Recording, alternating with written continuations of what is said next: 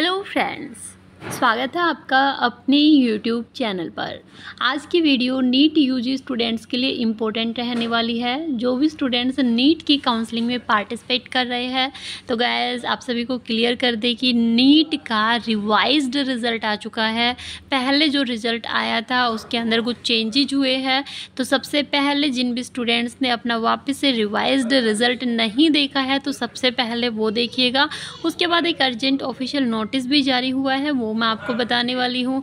तो गैज अगर आप इस चैनल पर नए हैं तो चैनल को ज़रूर सब्सक्राइब कर लीजिएगा, ताकि आपको नीट यूजी से रिलेटेड की हर टाइप की इन्फॉर्मेशन टाइम टू टाइम मिलती रहे।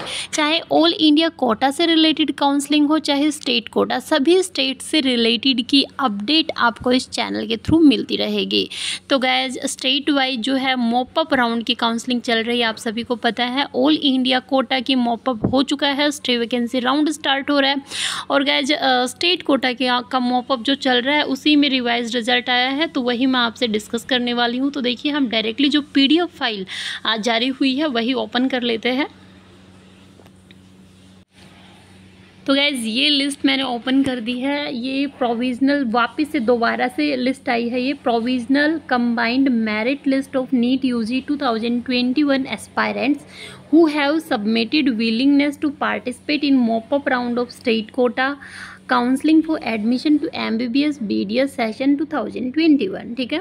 तो गैज़ ये जो मेरिट लिस्ट है, सबसे पहले आपको ये पता होना चाहिए, ये कौन सा स्टेट की है? तो गैज़ ये पंजाब स्टेट की है। अगर आपने पंजाब स्टेट में अप्लाई किया था तो आप अपना देख सकते हैं, ठीक है? मेरिट लिस्ट में आप कहाँ पर लाई करते हैं। तो गैज़ यहाँ पर सीरियल नंबर दिया है, जिससे आपको ये पता चल जाएगा टोटल कितने स्टूडेंट्स हैं जो मोपअप राउंड के अंदर काउंसलिंग में पार्टिसिपेट कर रहे हैं। यहाँ स्टूडेंट्स का रजिस्ट्रेशन नंबर दिया है नेम दिया है father name NEET roll number NEET में उनने कितने मार्क्स स्कोर किए थे? नीट में उनका रैंक क्या था? और यहाँ पर कैटेगरी मेंशन है। ठीक है? तो हम देखेंगे टोटल मिलाकर ये ट्वेंटी थ्री पेजेज है। तो इन ट्वेंटी थ्री पेजेस के अंदर टोटल कितने स्टूडेंट्स हैं? डायरेक्टली हम ये देख लेते हैं, जो मोपअप राउंड के अंदर पार्टिसिपेट कर रहे हैं। तो गैज़ कितने स्टूडेंट है? सात सौ ग्यारह। स्टूडेंट टोटल ऐसे हैं, जो मोपअप राउंड के अंदर पार्टिसिपेट कर रहे हैं। और जो मिनिमम क्वालिफाइंग मार्क्स स्टूडेंट्स के रहे हैं उन स्टूडेंट्स ने भी अप्लाई किया है। मतलब 711 स्टूडेंट रैंक तक ऐसे स्टूडेंट भी आ गए हैं जिनके 108, 112, 116, 117, 118 मतलब जो मिनिमम क्वालिफाइंग मार्क्स रहे हैं वो स्टूडेंट्स भी आए हैं। आप देख सकते हैं अगर मैं बात करूँ 200 से अबव कितने स्टूडेंट्स हैं इन मॉपअप राउंड ठीक है? ये रिवाइज रिज़ल्ट है गैस आपको ज़रूर चेक कर लेना है। तो 200 से ऊपर आप यहाँ से देखेंगे 587 201 ठीक है? ओनली 587 स्टूडेंट ऐसे हैं जिनके मार्क्स 200 से अबव है। ऐसे ही अगर मैं बात करूँ 300 से अबव कितने स्टूडेंट्स के मार्क्स है इस लिस्ट के अंदर तो वो भी हम देख लेते हैं गैस ये लिस्ट है यहाँ आ चुका है 302 ठीक है? 300 से अबव जो मार्क्स है वो फॉर 29 स्टूडेंट्स के मार्क्स है।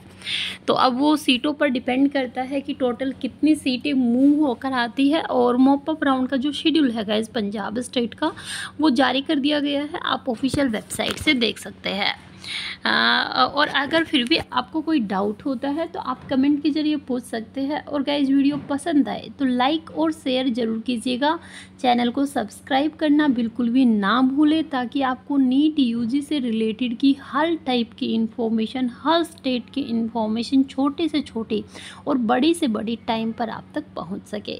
तो गाइज़ जल्द ही मिलते हैं नेक्स्ट न्यू अपडेट के साथ। तब तक के लिए थैंक यू